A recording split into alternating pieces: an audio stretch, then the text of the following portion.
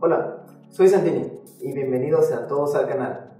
Hoy va a ser nuestro primer tutorial sobre la técnica de asurado.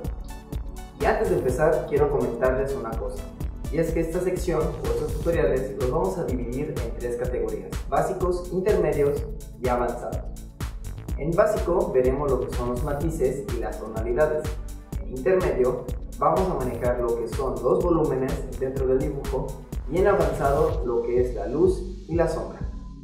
Ahora bien, comencemos. Hoy comenzaremos con la parte básica, que son los tonos. Para estos ejercicios no es necesario un amplio conocimiento de dibujo y solo necesitaremos una pluma, también puede usarse un lápiz, preferiblemente que siempre tenga bastante punta, unas hojas de papel y otras de papel albanene, o también conocido como calca vegetal. Pero exactamente, ¿qué son los tonos? Imaginemos ahorita el color verde. Debemos saber o comprender que existen varios tipos de este verde, como se están viendo en la pantalla. Esto es lo que se le conoce como una tonalidad. Existen los verdes oscuros, verdes claros, verdes turquesa, verdes, etc. Una infinidad de matices del color. Pero ¿por qué tenemos que entender esto? Bueno, cuando se hace ashurado, solo estamos manejando el color negro sobre un fondo blanco. Y la intención de esto es crear un matiz de grises utilizando solo esos dos tonos. Para el primer este primer ejercicio consiste en tomar una hoja blanca y la dividiremos en diferentes casillas, tres líneas con cinco columnas. Ahora, con la pluma o lápiz iremos haciendo líneas paralelas muy pegadas unas con otras, procurando un ángulo de 45 grados, en todas hasta llenar la sección. Ahora en la siguiente columna repetiremos este proceso pero se irá haciendo una separación entre las líneas aproximadamente de 5 milímetros una de otra, de esta manera. Al terminar, repetiremos este proceso con la siguiente columna, sumando ahora 5 milímetros más de separación entre cada una. Al final tendríamos algo como esto. ¿Puedes notar la escala de tonalidades? Podemos ver que entre más juntos, más oscuro se ve. Y mientras más separado, más claro se ve. Esto es muy importante. Y vamos a pasar a la siguiente línea. Pero primero quiero que comprendamos algo. Cuando una imagen está en colores, no solamente existe un color verde o un color fijo con sus tonalidades, existen varios mezclados entre los objetos. Puede haber un poco de rojo, un poco de verde, un poco de amarillo, etc. Cuando pasamos esas imágenes en blanco y negro, a pesar de que ya no se dan los colores como tal, pueden diferenciarse uno con otro. Estos matices de color gris se pueden replicar también en el ashurado. Vamos a ver cómo se hace.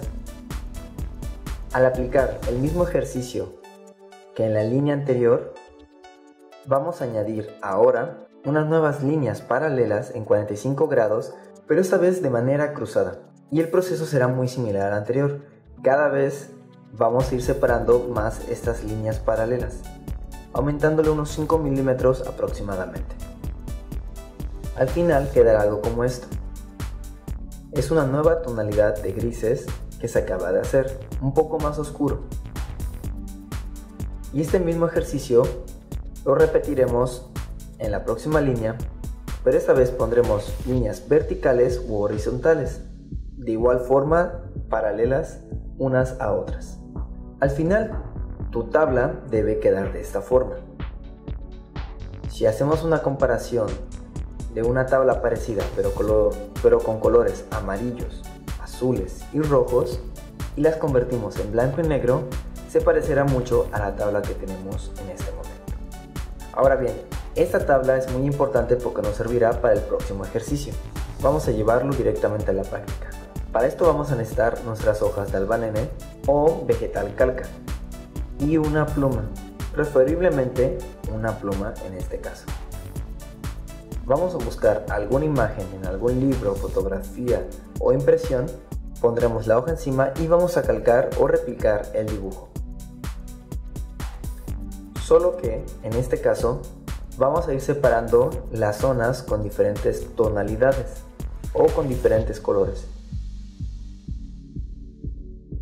Una vez que esté la imagen lista, buscaremos nuestra tabla y buscaremos qué tonos son parecidos o qué color se está siendo utilizado y lo replicaremos en nuestro dibujo con calca.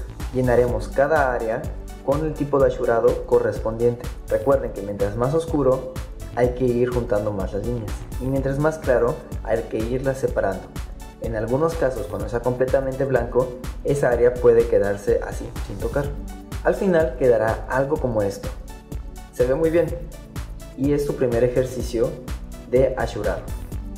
Ahora recuerda, esto es un ejercicio y hay que darle crédito a los creadores de esas imágenes. Pueden notar este pequeño detalle de aquí. Esto permití que se quedara, ya que fue un error mío. La pluma tiende a secarse más lento, cosa de la cual no estoy acostumbrado ya que suelo trabajar con estilógrafos. Pero es importante que sepan que con la pluma hay que tener cuidado o hay que esperar a que se seque completamente antes de pasar la mano. Bien, espero que el video les haya gustado mucho. Recuerden mantener la práctica. Este último ejercicio, una vez que ya tengas tu tabla, lo puedes hacer una y otra vez. Con caricaturas, con manga, con ilustraciones de otros dibujantes. La cuestión es practicar y mantenerse consciente de que es una práctica, no atribuirse los dibujos de otros. Ahora, recuerden que vamos a seguir manejando estos tutoriales más adelante en el canal. Pueden darle en el botón de suscribirse que está aquí abajo para estarse pendiente de cuando salgan y dar a la campanita para que les notifique cada vez que subo un video.